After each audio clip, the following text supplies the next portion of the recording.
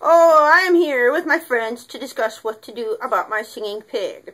I realize that most people are probably using a coworker as an example, but mine happens to be a roommate. Well, actually, the only one. She lives with my long-term girlfriend and myself. We do not really get along at all. We have different styles, tastes, likes, and dislikes. After repeated attempts, it is merely a coexisting to appease my partner and bring some type of peace to the situation.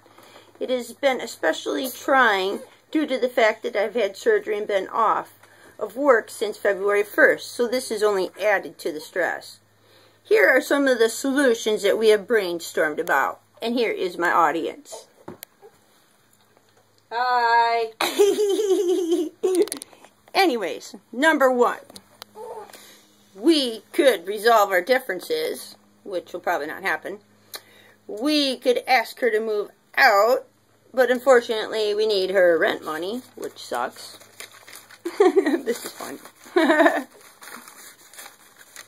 and I could also move out, but that would be ridiculous because, well, I'm not going to do that.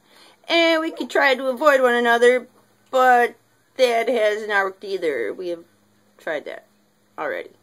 So, as a solution to my singing pig, we have come up with is for me to make more, to take more call at work so that I can make more money.